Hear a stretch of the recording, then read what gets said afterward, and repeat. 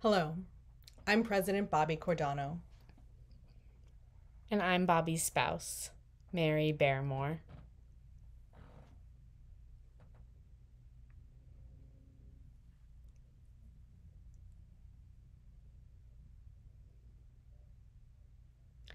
As I light this candle, let's take a moment to look back on all of the important work that we have done to invest in building our community during 2023.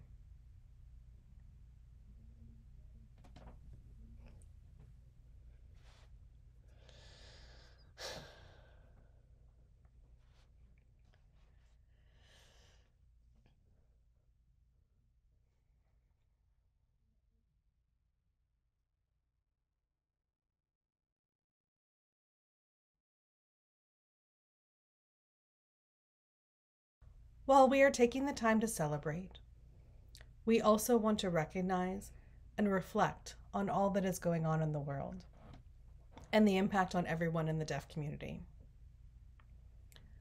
What keeps us strong and helps us through is our love for each other.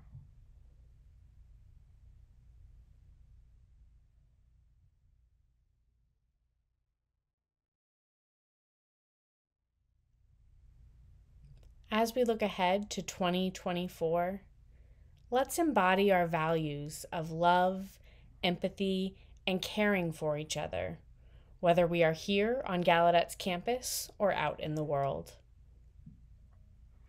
2024 is a new year. Yes, we will continue to see and experience new challenges, some of which will be easier to face than others. We don't know what challenges will arise but we will be ready for them. That is our strength. At Gallaudet, we are committed to being a model to the world of what peace truly means as we take the lead in caring for one another.